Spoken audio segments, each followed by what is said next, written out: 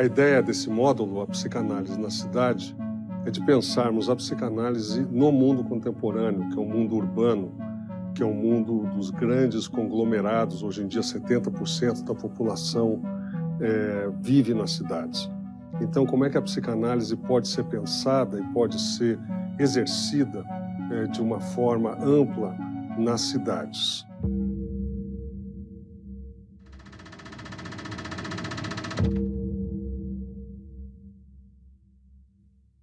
Então, a ideia é que a gente possa, a partir desses quatro encontros, estar pensando a cidade em si e a psicanálise dentro dessa cidade, nessa cidade e para essa cidade.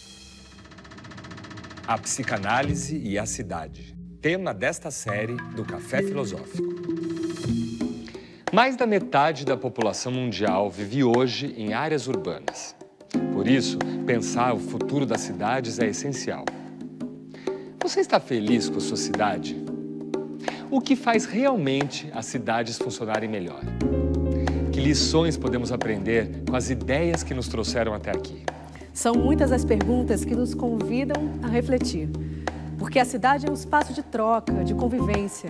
Analisar a linguagem das ruas, a interação nos parques e praças, o uso das calçadas, pode ser um caminho para a construção coletiva de uma cidade possível.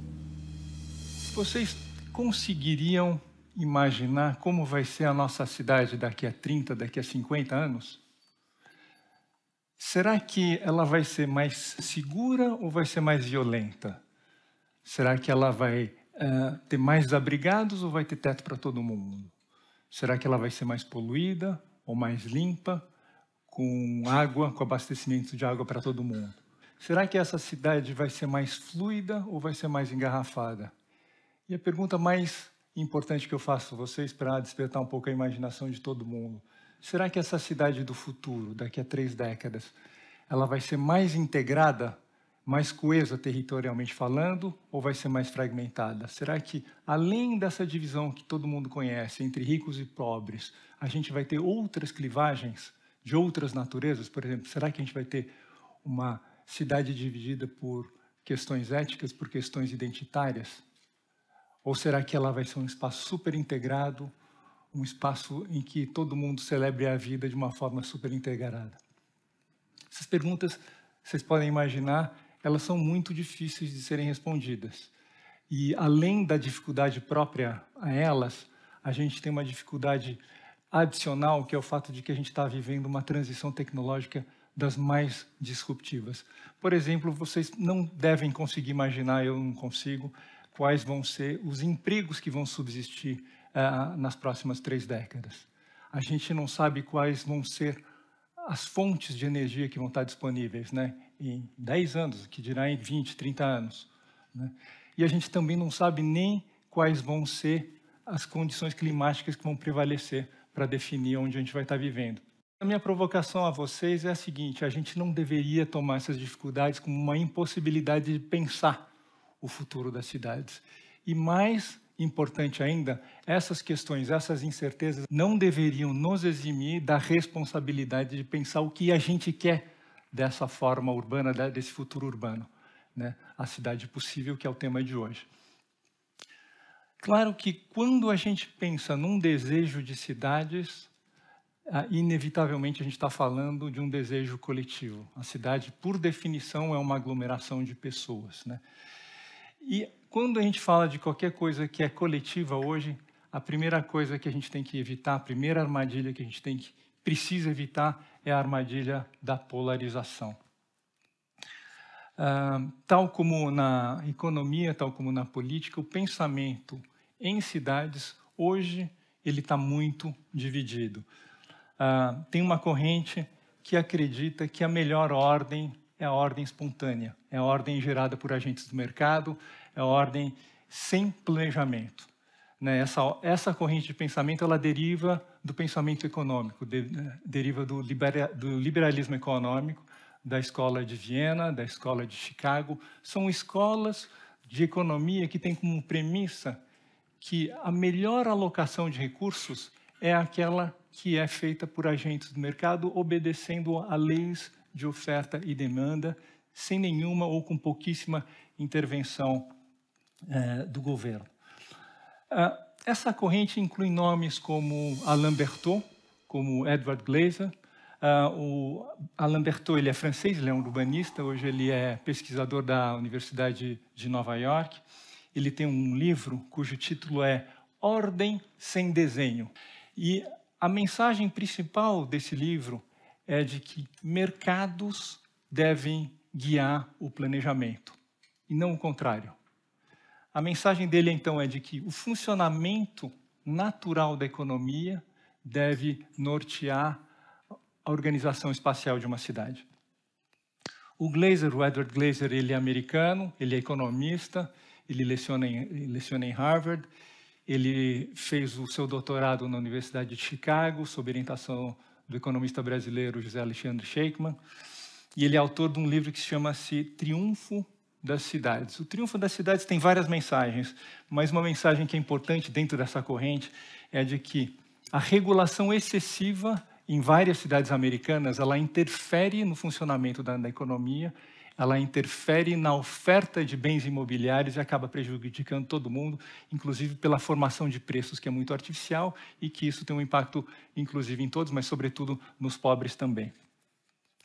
Aqui a gente, no Brasil, tem, tem uma expressão dessa corrente, num livro que é muito interessante, eu recomendo a leitura, o livro chama-se São Paulo, nas, São Paulo nas Alturas, do jornalista Raul Lores.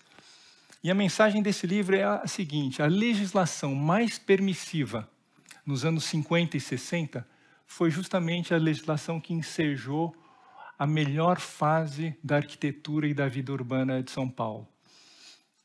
Bom, do outro lado, a outra corrente oposta que vocês podem imaginar preconiza que a melhor ordem é a ordem planejada. E essa ordem planejada, segundo esses pensadores, ela deve ser imposta ou deve ser mediada uh, pelo governo com maior ou com menor participação da população. Essa corrente ela é originária de disciplinas técnicas, ela é originária do, da, do urbanismo, mas também tem uma contribuição muito forte das ciências sociais, da, das humanidades. E no campo do urbanismo, um expoente, eu vou falar só um deles, é Le Corbusier, um arquiteto franco-suíço, segundo o qual a ordem planejada é superior. E ela, de fato, precisa ser imposta. Se a gente dependesse do, do Le Corbusier, por exemplo, Paris, o, o terceiro e quarto distritos, que abriga aí essa, esse conjunto magnífico de, de, prédios barrocos e renascentistas, ele teria sido arrasado para dar lugar a 18 prédios é, é, de vidro, uh, no esquadrinhamento de ruas absolutamente simétrico e tal. Enfim, a gente nunca sabe se é superior ou não, a gente teria que ter visto, mas a gente não viu. Eu vou citar dois nomes das ciências sociais que, é muito, que são muito importantes nessa corrente. Um deles é o David Harvey, o outro, David Harvey é um geógrafo inglês, uh, o outro é Henri Lefebvre, que é um filósofo, um sociólogo uh, francês. Esse último autor de um livro que se chama Direito à Cidade, que virou uma espécie de um slogan, mais do que um slogan, até um manifesto em prol da construção mais participativa de todos e contra uma ordem de mercado, uma ordem capitalista. No Brasil, um representante importante dessa corrente é o Milton Santos, o geógrafo Milton Santos, é, de um geógrafo importantíssimo de reconhecimento internacional.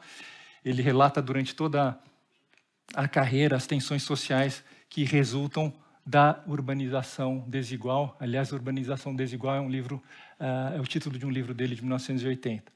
Uma outra representante muito importante também é a professora urbanista Raquel Onik, professora da FAUSP, ela foi relatora até recentemente da ONU para as questões de direito à moradia. Ela tem uma publicação muito extensa e o último livro dela dá muita ênfase às questões, ah, aos problemas derivados de uma financiarização excessiva do mercado habitacional. Lógico que estou fazendo uma, simples, uma simplificação brutal aqui de duas correntes, ah, mas achei importante a gente situar a nossa conversa em torno dessas diferenças não tanto para aprofundar essas diferenças, mas eventualmente identificar nessas diferenças pontos de, de possível uh, convergência. No próximo bloco, o poder econômico ele usa a terra e o poder político ele protege a terra, ele controla o território.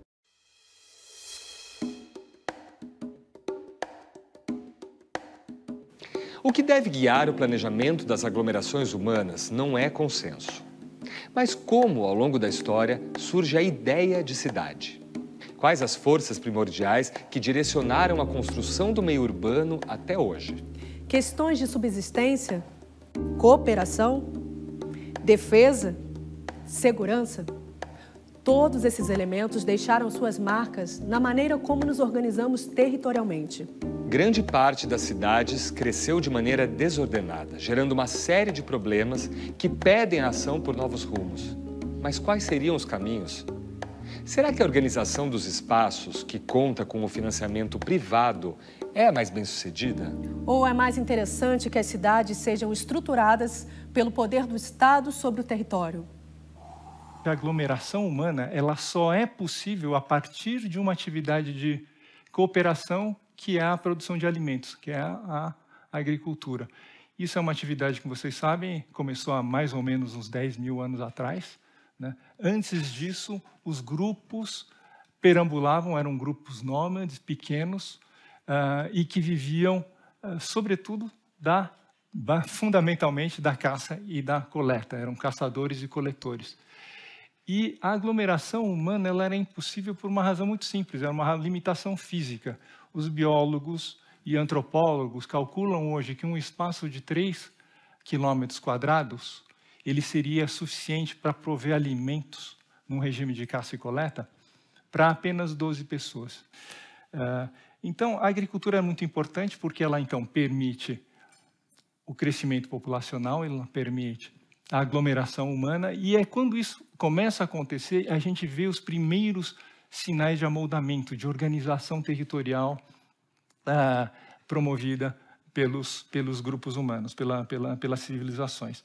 E a, o primeiro sinal de organização ah, ah, dos territórios tem a ver com a separação do plantio, das áreas de plantio, com as áreas de pastoreio. São atividades absolutamente ah, incompatíveis, que precisavam ser separadas. E essa divisão espacial do trabalho, ela corresponde simetricamente a uma divisão social do trabalho também que leva a uma especialização.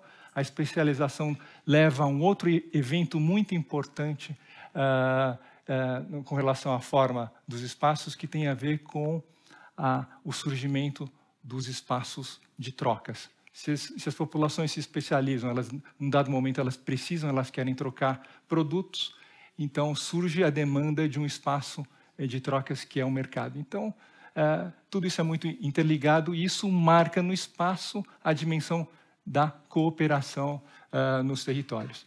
E o território também é marcado pela dimensão de conflito, o surgimento que é dado pelo surgimento dos muros.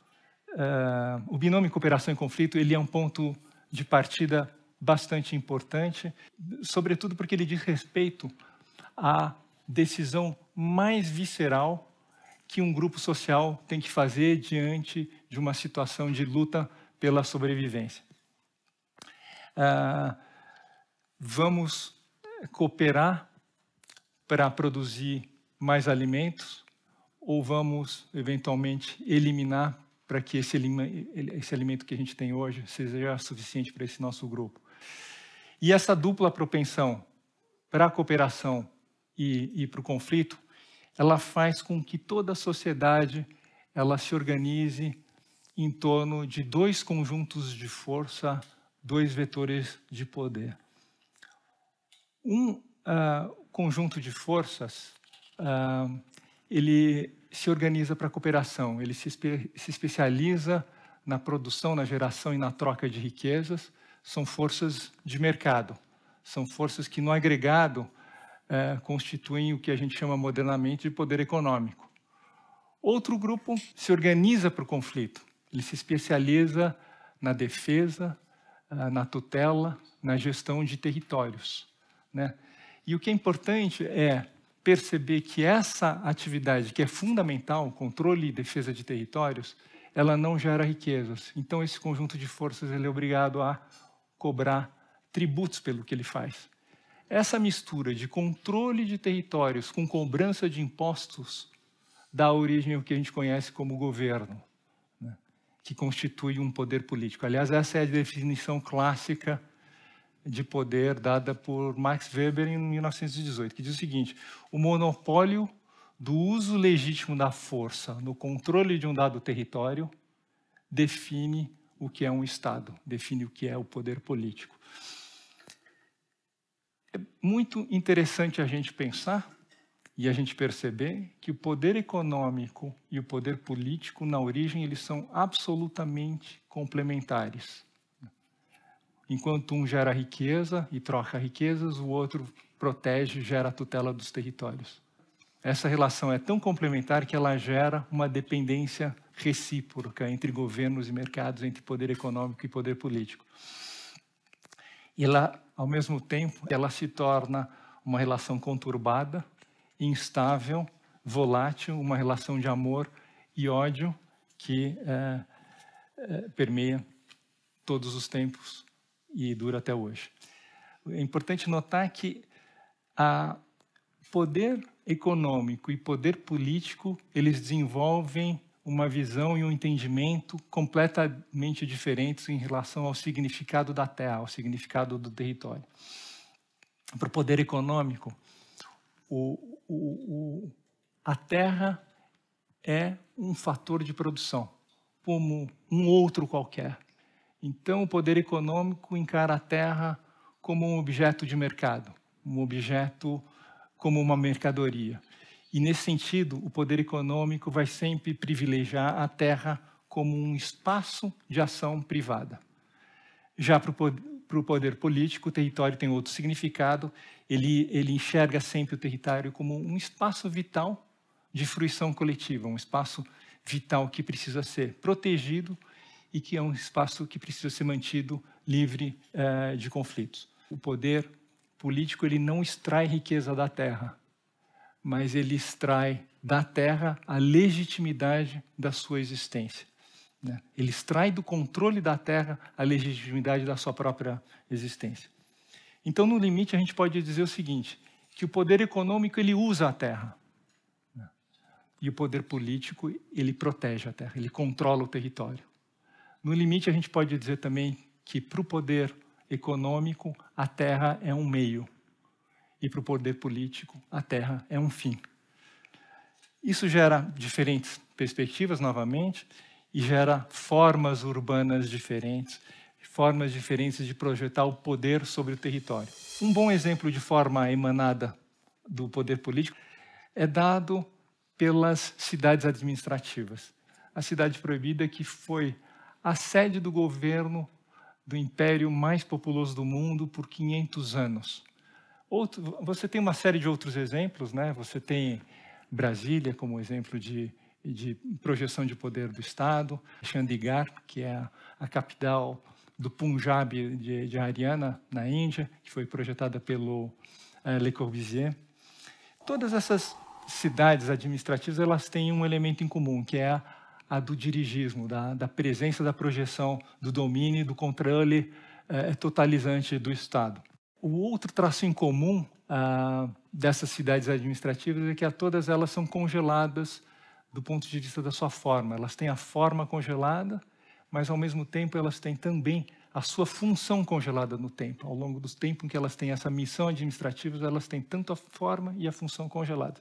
Outro exemplo de dirigismo estatal né, é dado pelos gigantescos programas habitacionais que são promovidos uh, pelo poder público em, diversas partes do mundo. As New Towns da Inglaterra, que são promovidas como um esforço de reconstrução do pós-segunda guerra, as HLMs, as habitações de locação moderada nas periferias das cidades francesas, sobretudo da de Paris. Você tem esse gigantesco programa de habitação do México e você tem o Minha Casa Minha Vida, que são programas muito intensivos em capital e que geram esse tipo de geometria e essa é uma forma muito uh, exemplar, uh, não no bom sentido, mas exemplificativa do, do que é a projeção do poder uh, de Estado no território. Um exemplo um pouco mais híbrido é a, a imagem da reforma de Paris na metade do século XIX, que substitui os prédios e as ruelas tortuosas medievais por essa geometria que vocês estão vendo.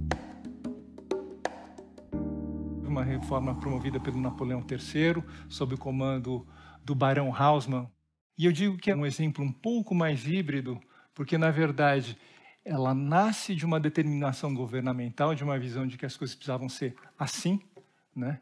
ela vem de uma determinação de cima para baixo, é, muito virulenta, mas ao mesmo tempo ela já conta com financiamento privado. E esse hibridismo se revela uh, na, no uso da forma. A forma ela está congelada aqui, mas diferentemente das formas mais estatistas, ela já mantém uma flexibilidade com relação ao uso. O uso aqui, a função, ela é determinada pelo mercado, no fundo, que já comprou essas áreas e que já tem o controle, então, do, do uso. Bom, um outro exemplo de forma híbrida é dado pelas grandes redes infraestruturais voltadas para a produção e circulação de bens industriais. Aqui a gente tem um casamento do poder público com o poder econômico. Né? É um casamento de interesse, a estruturação da cidade é fundamental para que a produção possa escoar. Toda grande cidade industrial tem o sinal uh, dessa projeção de poder conjunto. Né? E aqui no São Paulo a gente está vendo essa, esse exemplo, que é um exemplo extraordinário. São nossas planícies fluviais muito irregulares, com terrenos problemáticos, elas foram absolutamente uh, retificadas, os rios foram retificados e uma, uma grande infraestrutura de, de escoamento foi criada para permitir São Paulo e a macrometrópole de São Paulo seja o que ela é hoje, um grande aglomerado é, que abraça milhões de pessoas. No próximo bloco, o maior poder de definição uh, da forma de cidades está na mão da, da população, do poder social que eu chamo.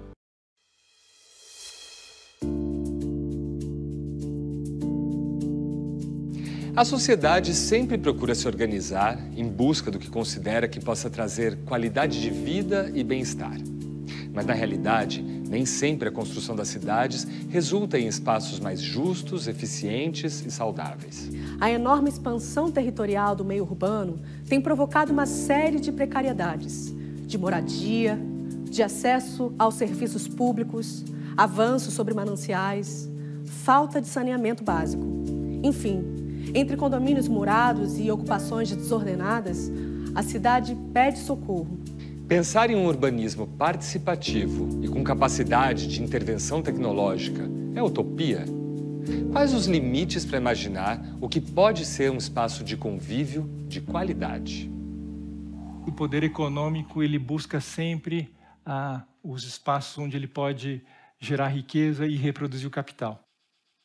Então, ele, o poder econômico ele sempre vai buscar modalidades de apropriação de, do, e uso do solo que sejam mais livres, e mais espontâneas.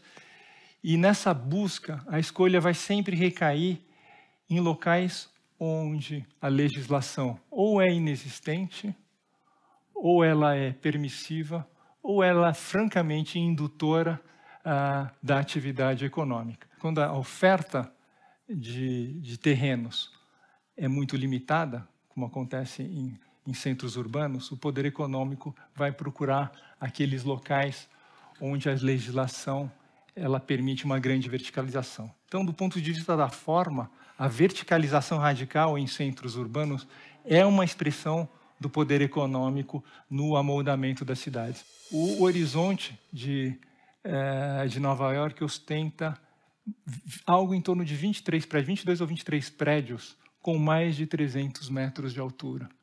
É uma coisa surpreendente, é uma coisa de uma exuberância, eu diria, da intervenção uh, humana. Não necessariamente bela, eu não estou fazendo nenhum juízo de valor, mas ela impressiona pela capacidade de intervenção uh, humana no ambiente natural.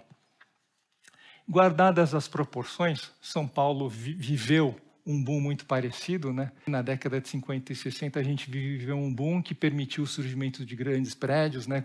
como o edifício Itália, o edifício Copan, o, o, mesmo Conjunto Nacional também é desse período, o CB Esplanada, o Conde Prates, é uma, uma série de edifícios que nascem em função de uma legislação uh, mais permissiva. O espraiamento horizontal também é uma outra expressão do, do poder econômico.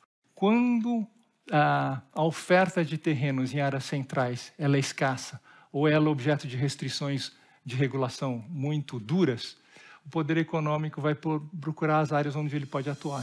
A tendência natural é o do poder econômico buscar as franjas, buscar as áreas onde a legislação ela é inexistente ou ela é frágil ou ela é bastante permissiva. Isso acontece muito nos entornos das cidades pequenas, sobretudo no norte e nordeste, que recebem grandes empreendimentos industriais, extrativistas ou de grandes infraestruturas. E você tem um conjunto de cidades uh, do Brasil, do norte e do nordeste, que recebe esse tipo de urbanização, que é uma urbanização muito precária, porque ela acontece sem regra, sem nenhuma regulação, e é um espraiamento que, enfim, é muito problemático, porque ela se dá uh, numa situação em que o poder econômico ele chega antes da ordem política ter capacidade de se estabelecer com, com qualidade, com qualidade de reflexão de, e de regulação.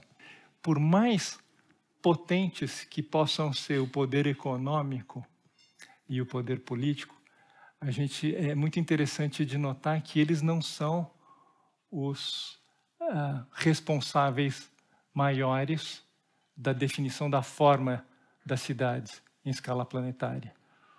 Uh, o maior poder de definição uh, da forma de cidades está na mão da, da, população, do poder social que eu chamo. Porque é a, é a população, é, a grande massa populacional que se, vincula, que se vincula de forma mais ou menos formal a mercados e a governos que constrói as chamadas cidades informais. E as cidades informais, elas respondem pela grande uh, parcela uh, do território uh, das cidades. É, tem a, a literatura do, do, urbanismo é muito rica. Vocês têm um autor que se chama Héctor Villeca. Ele é um urbanista uruguaio radicado no Brasil. Ele tem um livro que chama O Terceiro Território, que, que, que descreve muito essa situação. De acordo com os dados do Villeca, 70% dos territórios urbanos da América Latina são territórios informais, são cidades informais. O, da, o, o Conselho de, de Arquitetura e Urbanismo, o CAL, o CAL brasileiro, ele tem um dado que assusta ainda mais. O CAL diz o seguinte: 85% das construções no Brasil não contaram com um profissional habilitado na sua construção. Isso quer dizer o quê? Que 85% das construções que a gente tem no Brasil, elas são irregulares, no limite elas são ilegais. E completando esse panorama, a gente tem uma geógrafa, é nascida em Hong Kong, mas que é, é pesquisadora ah, na Universidade de Yale, o nome dela é Karen Seto, e ela diz o seguinte, que no espaço de 2000, do ano 2000 até 2030, o planeta terá triplicado a superfície de urbanização. Ou seja, eh, a gente vai ter produzido três vezes mais cidades em 30 anos do que a gente produziu do ano 2000 para trás, desde os primórdios da civilização. E o que ela diz, a partir dos estudos de imagem satelital, é que a maior parte, a maior parcela dessa urbanização, ela é informal. São áreas que geram fricção com as áreas de produção de alimentos, as áreas de, de produção e represamento de água, as áreas de preservação ambiental, enfim, as áreas de exploração mineral, enfim. A expansão urbana ela gera fricções de toda a natureza com os outros usos é, em nível planetário. Uma grande síntese, então, a gente pode dizer que a organização espacial das cidades ela sempre obedeceu à ação e à interação desses três poderes: o poder econômico, o poder político e o poder social. Essa a presença dessas três forças é uma, é uma constante ao longo dos milênios e elas sempre atuaram no, nesse moldamento sobre o qual a gente está conversando. E as variáveis são dadas pela, pela disponibilidade de tecnologias. Né? A, tecnologia ela muda a possibilidade da intervenção humana sobre o planeta, né, sobre o ambiente natural.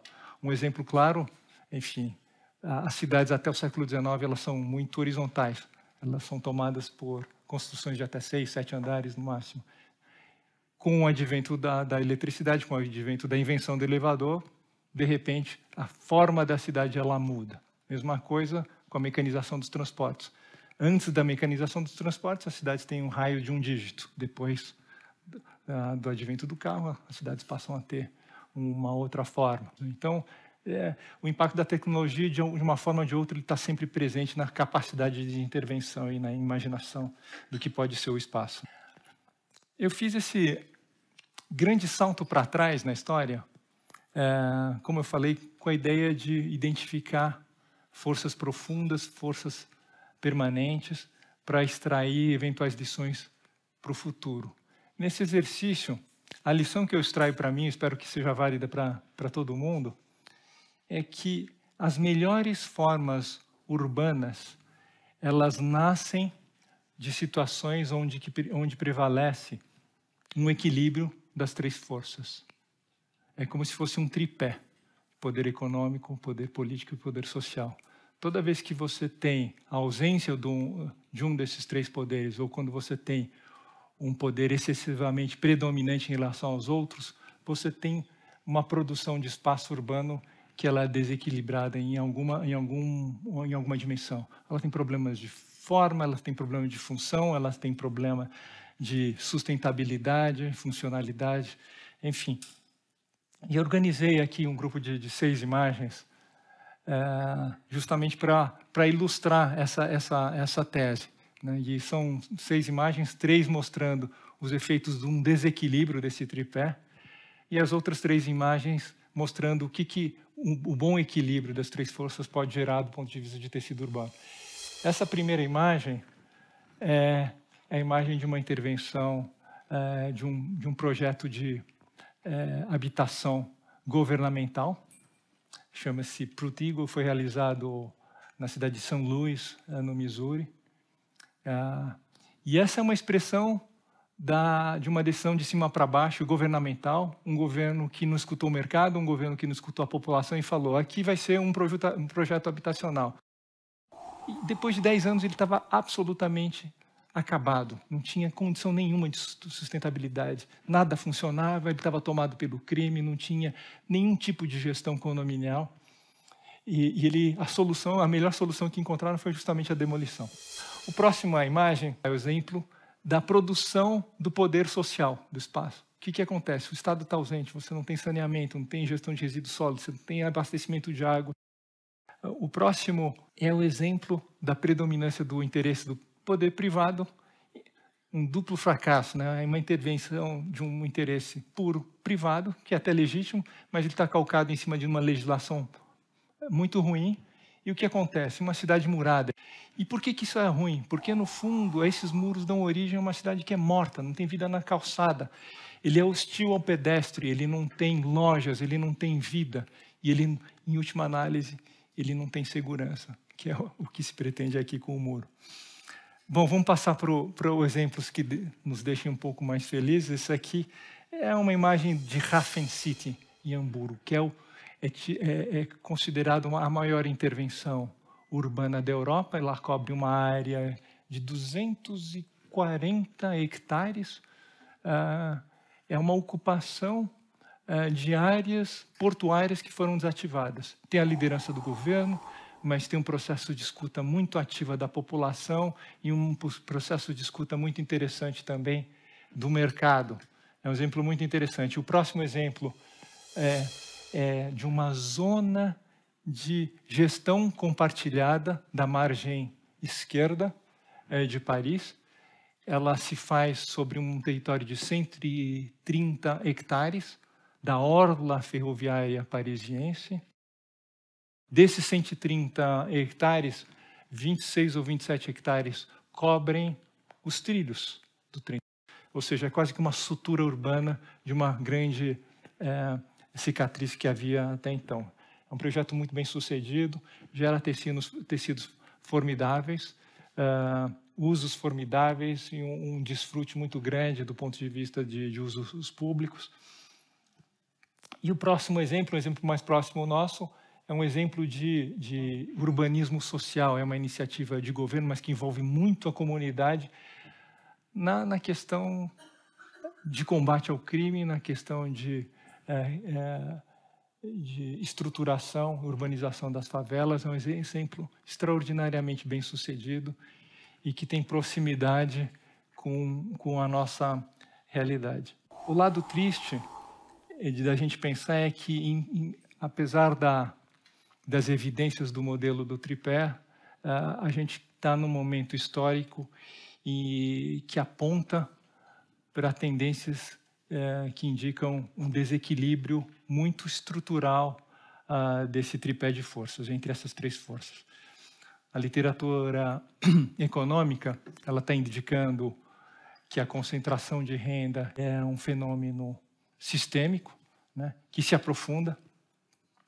E esse uh, nível de desigualdade ele vem desestabilizando os fundamentos da democracia, como a gente está observando no mundo todo. E essa desigualdade ela tem colocado a sociedade num patamar, numa situação que ela se sente ameaçada, ela se sente numa situação de luta pela, uh, luta pela sobrevivência, que faz disparar o nós contra eles, que define hoje, que caracteriza hoje essa, essa polarização.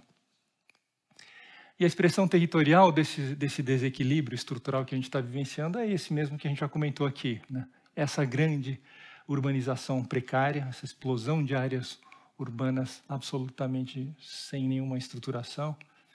A gente está observando o encastelamento ah, da faixa mais privilegiada em regiões mais, privatiza, mais privatizadas, né, em todas as cidades do mundo, sem exceção. E a gente observa um aumento uh, enorme do déficit habitacional em todas as cidades do mundo, de novo. Não é um fenômeno que atinge só as cidades do, do, do sul global, ela atinge cidades como Londres, o déficit habitacional dos Estados Unidos tem um, um número parecido com o do Brasil, são 7,7 milhões de, de, de déficit. No próximo bloco. O que a gente vê no Brasil e vê no mundo é um sem número de projetos concebidos sem nenhum tipo de escuta. E os desastres são enormes, né?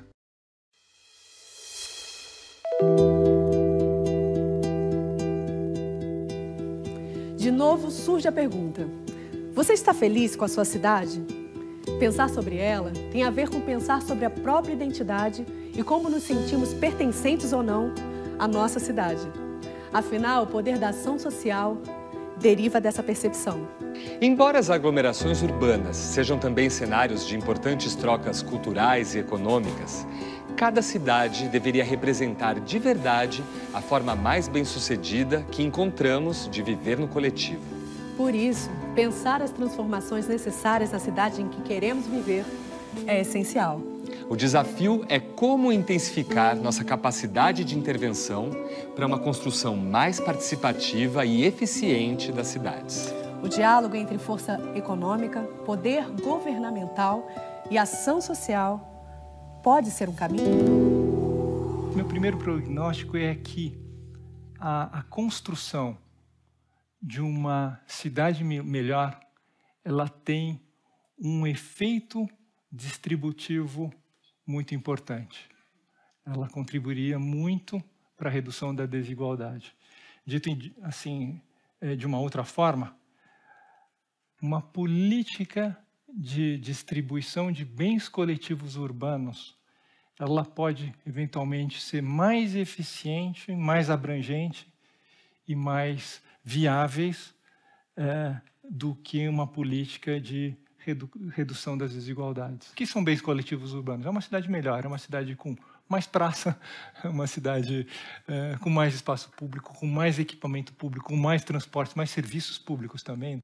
Minha segunda conjectura é de que o diálogo e a concertação em torno de uma cidade melhor é talvez o melhor método para se resgatar a funcionalidade e a legitimidade do processo democrático, que está tão empobrecido e está tão uh, questionado. É, e certamente esse, essa, essa concertação ela pode e deve ser fortalecida com os mecanismos e as ferramentas de Big Data e de inteligência artificial. E meu terceiro prognóstico, minha, minha terceira conjectura é a de que a produção de uma cidade melhor ela pode ajudar a absorver o impacto do desemprego em massa que vai resultar das mudanças tecnológicas que estão pela frente.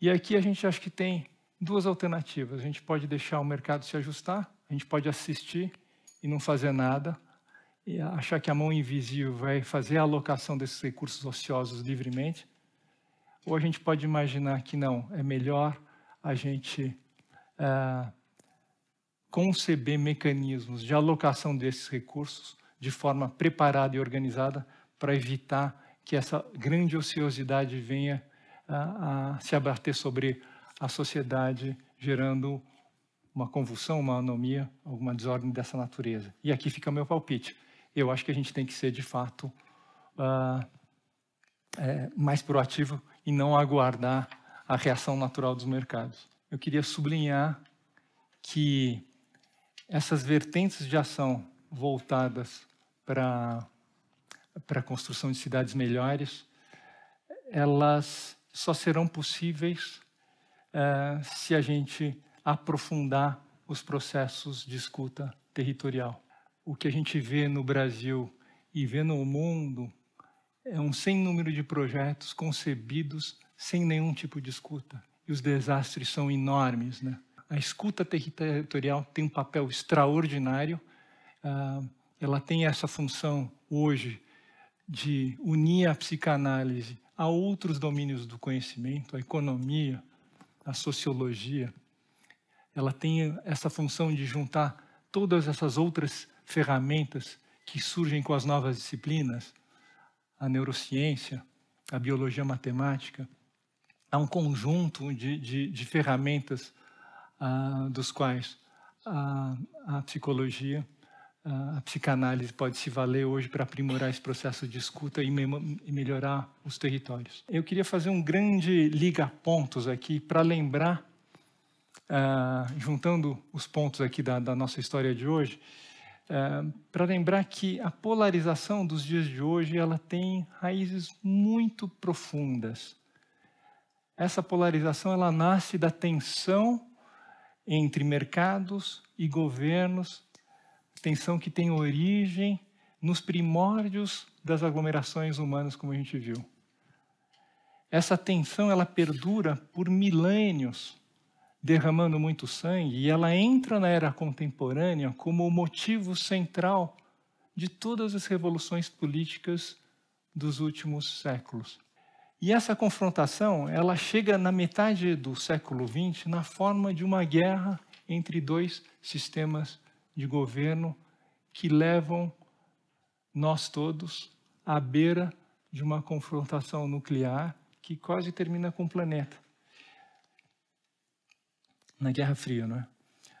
E a gente entra agora no século 21 com essa mesma confrontação, se deslocando do domínio da geopolítica para se transformar nessa polarização que invade o domínio privado, invade as nossas casas e divide as nossas famílias e amigos. A gente tem que inverter isso e eu acho que inverter isso significa trabalhar em cima das cidades. Se algum dia o Brasil for uma grande nação, eu acredito que ela vai ser uma grande nação não porque alguém em Brasília vai ter decidido isso. O Brasil vai ser uma grande nação se a gente, cada um de nós, nós todos juntos, formos capazes de construir uma constelação de cidades. Cidades grandes ou pequenas, mas cidades vivas, né? com mercados dinâmicos e competitivos, com comunidades, com sociedades muito engajadas no seu território e com governos locais que sejam capazes de desenhar políticas que levem a esse equilíbrio dos, dos três poderes. Eu queria saber sua opinião sobre o fenômeno das ocupações, né? principalmente em São Paulo, no centro de São Paulo, o mais famoso da 9 de julho. É, você entende que isso é um direito dessas, das pessoas menos favorecidas e se é um direito também do Estado a expulsão dessas pessoas e como lidar com isso, com a lei e ao mesmo tempo com essa questão social e essa demanda nesse espaço coletivo, né, onde tem acontecido bastante fenômenos sociais, interações, atividades. Qual o seu conceito, sua ideia e os frutos que emergem disso tudo? Tem um conceito, a gente estava falando de conceitos civilizatórios. Um deles, que foi incorporado no Estatuto da Cidade, é, que foi incorporado também na, na, na Constituição, que é o direito a, social da propriedade.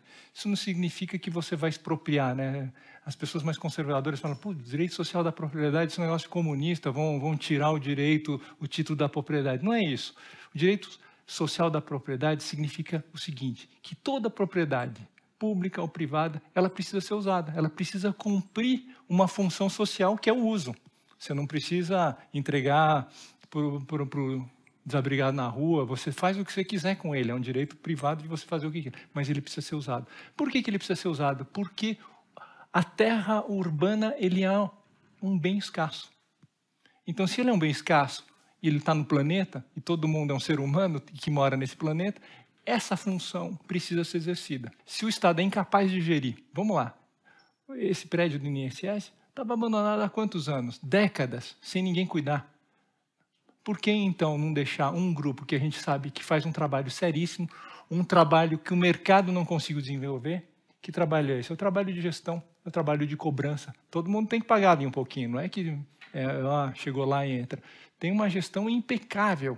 Ela cuida de fazer com que as crianças estejam todas matriculadas na escola, ela cuida de que tenha atendimento é, médico para as pessoas, enfim, tem aula de inglês lá para a comunidade, enfim marido que briga com mulher, leva advertência, não pode. Enfim, é uma gestão que é impecável. Né? Dentro de um prédio que estava abandonado. A Vanessa, do público, te pergunta se existe uma tendência, na verdade, ela está afirmando aqui, né? Existe uma tendência dessa nova geração do pensar o acesso aos bens e serviços e não a posse. Como isso muda as relações entre o poder político, o econômico e o social territorial? De alguma forma, de alguma forma, você acredita numa submissão ao poder econômico ou a outro caminho? Bom, essa nova geração de fato tem uma uma, uma relação muito diferente que a minha geração tem em relação a bens em geral. Quer dizer, a propriedade de uma casa é uma coisa que é, era vista com muita muita prioridade na minha geração. Então essa relação ela muda ela muda por opção, por valores, por tecnologia, mas ela muda também por uma contingência econômica. Os preços imobiliários nas grandes capitais do mundo impedem que profissionais eh, jovens, recém-formados ou até 10 anos de formado, tenham uma habitação digna. É inviável. Então a relação muda porque tem uma opção, mas tem uma imposição também, porque o mercado está está castigando, e aí esse é um fenômeno também, é um, um derivativo aí da, do fenômeno da desigualdade que está pressionando a classe média muito para baixo, a pirâmide social está inchando para baixo. Né? Sobre a submissão a forças do mercado, isso é uma pergunta interessante. Se você for pegar uma reta de milênios para cá, você tem muito a preeminência do poder político sobre o poder econômico. E essa essa, essa, essa curva ela, ela, ela tem uma grande inflexão nos tempos atuais. Né? Você tem um poder econômico que rivaliza a partir da do, de, após a revolução industrial, mas mais no, no século XX você tem os grandes as grandes corporações econômicas rivalizando em termos de poder de, é, de, de mobilização que muitos estados. Então é uma tendência que a gente tem que observar. Ah, a gente está num momento de profundo reajuste de relações entre o poder econômico e poder político. O mais recente, o mais espantoso que a gente tem conhecimento é a revolução que foi iniciada em 1978 na China. A abertura da China, a reforma chinesa de 1978 é uma reestruturação, é uma revisão completa das relações que um poder político tem que manter com o poder econômico. E o resultado é esse: você tem uma nação de 1,5 bilhão de pessoas, que é uma potência econômica hoje, que tem um poder político extraordinário que mobilizou o poder econômico de uma forma sem precedentes. Qual vai ser o resultado? Tem muita gente que está dizendo o seguinte: nesse tripé que você fala aí, não tem poder social, porque no fundo você não tem democracia, o que, que vai acontecer? Como isso vai se manifestar do ponto de vista da forma urbana? Eu estou perguntando, estou perguntando para mim também, eu não sei. E é muito curioso saber o que, que acontece quando uma sociedade está assim. Ah, é quando uma sociedade encontra uma fórmula de governança como essa que a China encontrou, que é muito interessante. Mais reflexões no site e Facebook do Instituto CPFL e no canal do Café Filosófico no YouTube. E as cidades elas nunca geram pobrezas, elas atraem os pobres. E elas atraem os pobres porque, na verdade, elas são polos de geração de riqueza. Agora, você pode pensar de uma outra maneira também, que é a seguinte: você tem um sistema econômico que ele é muito concentrador. Então você pode enxergar dessa ótica que as cidades são máquinas de concentração do capital.